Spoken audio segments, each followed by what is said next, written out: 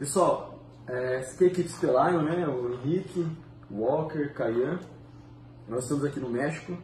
Terminamos ontem, após três dias de provas duras com equipes do mundo todo, Espanha, Polônia, América Latina toda. É, o Pet Rope Trip Latinoamérica, que é um dos campeonatos mais fortes de acesso por corda e resgate do mundo, onde a gente se consagrou campeão.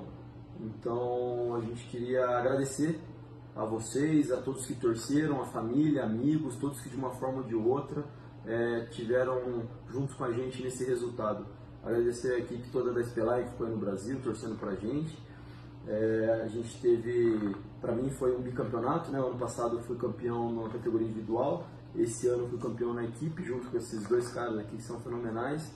Essa aqui é a medalha de primeiro lugar, troféu de primeiro lugar, e essa aqui é uma outra medalha melhor tempo de, na prova de circuito e resgate, fiz o melhor tempo da competição. O Henrique também teve uma medalha de melhor tempo da competição na prova de circuito com um balde de 9 kg com água. É, o Caio foi uma peça fundamental para a gente conseguir as pontuações para a semifinal. Então, assim, a equipe trabalhou muito junto, muito unida. E a gente só tem a agradecer, mesmo que muita gente mandando WhatsApp, Facebook, Instagram, a gente não vai conseguir responder a todos. A gente resolveu fazer esse vídeo para agradecer vocês e parabenizar também as outras equipes de brasileiros que estavam presentes no evento. Nosso muito obrigado. Valeu, valeu, obrigado.